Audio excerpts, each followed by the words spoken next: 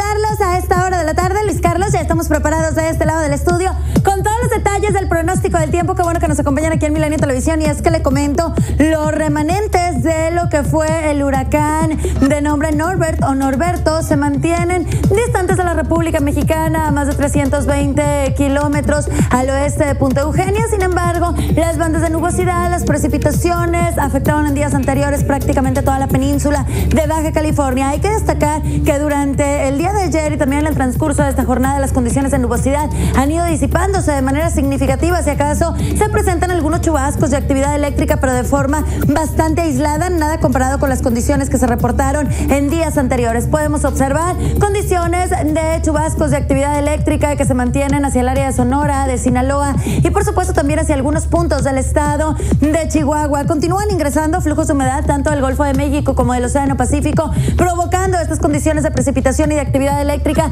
además en el centro, sur y por supuesto también hacia el sureste del territorio nacional. Lo más destacable durante las últimas horas, una perturbación tropical que se mantiene frente a las costas del sur de la República Mexicana. Se mantiene en un 50% de probabilidad de poder intensificarse, aunque se mantiene distante y desorganizada hasta el momento. Hay que estar muy pendientes y hay que mantener este sistema bajo vigilancia en el transcurso de los próximos días. Obviamente en el transcurso de las próximas jornadas le vamos a estar actualizando el comportamiento que pueda tener este sistema de baja presión o esta perturbación tropical. Por lo pronto le comento 15,23 los valores que esperamos el día de mañana en la Ciudad de México. Cielo nublado variable. Las lluvias pueden reportarse en cualquier lapso del día. Además, estas precipitaciones van a estar acompañadas de actividad eléctrica, condiciones que se van a extender para miércoles y también para este próximo jueves. Y ahora le echamos un vistazo al pronóstico para la Sultana del Norte. Y es que vienen cambios importantes. Hay que estar muy pendientes de la información meteorológica. Al menos para el día de mañana, cielo soleado, un ambiente bochornoso, temperaturas hasta los 34, 35 grados centígrados, algo de bruma presente en el ambiente, igual para mitad de semana. A partir del jueves se abre la probabilidad de chubascos y actividad eléctrica, condiciones que esperamos especialmente en zonas montañosas o en las sierras, sin descartar que puedan extenderse hacia algunos puntos del área metropolitana. Y hay que destacar que esperamos la llegada de un débil sistema frontal, el cual va a estar generando un descenso importante en los valores por ahí del próximo fin de semana. Le vamos a estar actualizando y por supuesto hay que estar pendientes del pronóstico del tiempo. 16,27 los valores en la perla tapatía el día de mañana.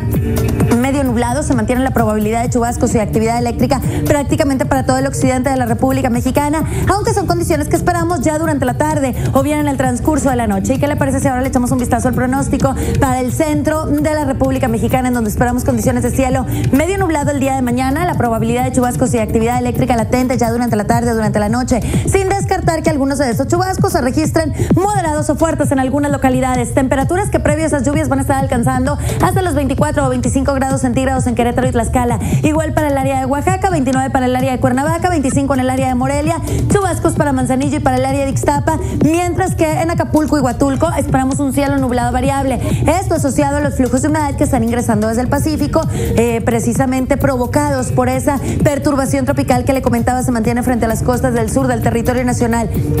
Las lluvias el día de mañana, al menos para Huatulco y también para el área de Acapulco, pueden reportarse en cualquier lapso de la jornada, incluso las esperamos de moderadas a fuertes en algunos lapsos del día. Hay que tomarlo en cuenta, por supuesto, estas lluvias van a estar acompañadas de tormentas eléctricas. 13,28 los valores en el área de León el día de mañana, medio nublado, chubascos, tormentas eléctricas de forma aislada, igual para miércoles y jueves, temperaturas y condiciones similares las que esperamos para el área de Puebla, lluvias ya durante la tarde o bien en el transcurso de la noche, mientras que en el área de Toluca 10 la mínima, 22 alcanzando en el transcurso de la tarde, cielo medio nublado, también la probabilidad de precipitación está latente ya al finalizar la tarde o bien en el transcurso de la noche. La información hasta el momento me dio gusto. Saludarlos, Luis Carlos, regresamos del otro lado del estudio, que tengan muy buenas tardes.